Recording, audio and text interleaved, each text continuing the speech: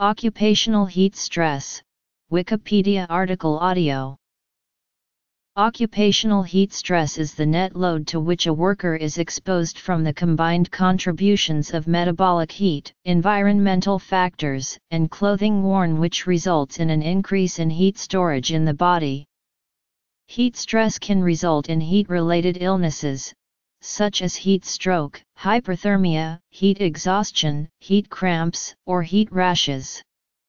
Although heat exhaustion is less severe, hyperthermia is a medical emergency and requires emergency treatment, which if not provided can even lead to death. Risk factors Examples of high-risk occupations Symptoms of heat stress Prevention. Occupational standards. International. United States. Recommended standards. Control of heat stress. General requirements. Engineering controls. Work and hygienic practices. Heat Alert Program Heat stress causes illness but also may account for an increase in workplace accidents, and a decrease in worker productivity. Worker injuries attributable to heat include those caused by sweaty palms, fogged up safety glasses, and dizziness. Burns may also occur as a result of accidental contact with hot surfaces or steam. In United States, occupational heat stress in becoming more significant as the average temperatures increase but remains overlooked. There are few studies and regulations regarding heat exposure of workers. Heat-related illnesses from occupational heat stress have several risk factors. Some of these factors include high temperatures, humidity, radiant heat sources, limited air movement, metabolic heat from physical exertion of energy, not drinking enough fluids, personal protective equipment and clothing, physical condition and health problems, medications, pregnancy, lack of acclimatization, advanced age, having a previous heat-related illness and others.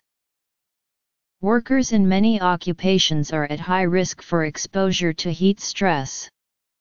Some of the higher risk occupations include firefighter, bakery worker, miner, military personnel, construction worker, factory worker, boiler room worker, landscaper, and agricultural worker. The main symptoms of heat stress are perspiration, increased heart rate, and dehydration.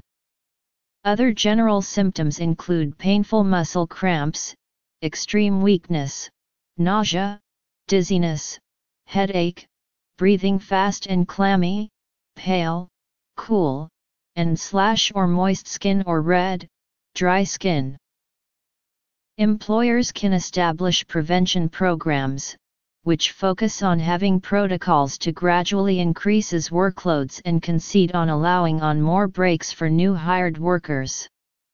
Employers can control heat stress through engineering controls, work practices, providing training, implementing an acclimatization schedule, providing water, and encouraging workers to drink often, and ensuring workers take appropriate rest breaks to cool down.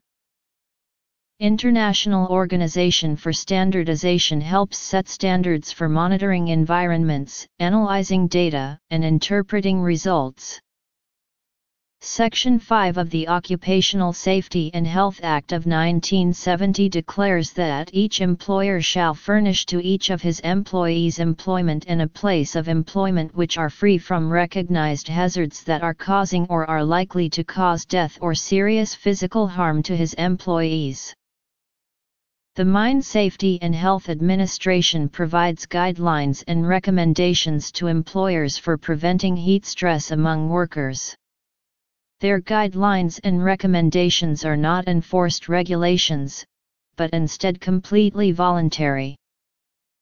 National Institute for Occupational Safety and Health conducts research on occupational hazards such as heat stress in order to provide better intervention methods and protect workers.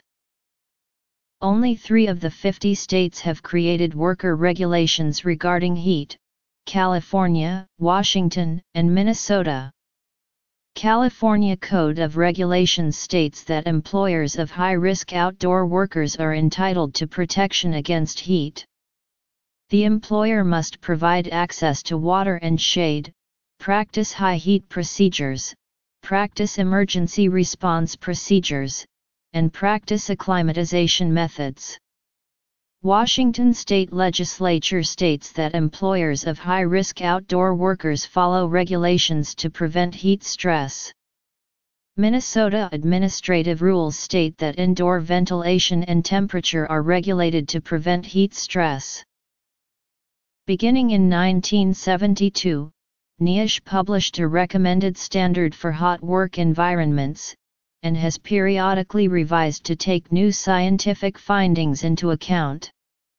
The intent of the NIOSH recommended standard for occupational exposure to heat and hot environments is to prevent injury, disease, death, and reduced productivity.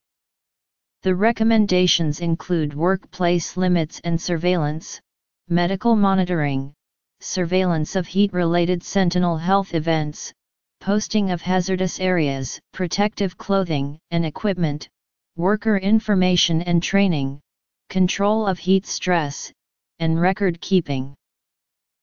Control of heat stress has recommended general requirements, engineering controls, work and hygienic practices, and a heat alert program. NIOSH recommends that every employer should create and implement a written program aimed at reducing heat exposures. Engineering and work practice controls should be used to reduce exposures, and a heat alert program should be implemented. Air temperatures should be reduced so it does not exceed skin temperatures. Radiant heat should be reduced by creating barriers around the source. Evaporative heat loss can be increased by increasing air movement around the worker. The time workers spend in hot environments should be limited, with an increase of recovery time spent in cool environments. Use of more efficient procedures and tools is beneficial to reducing metabolic demands of the job. Heat tolerance may be increased by implementing a heat tolerance plan and increasing physical fitness.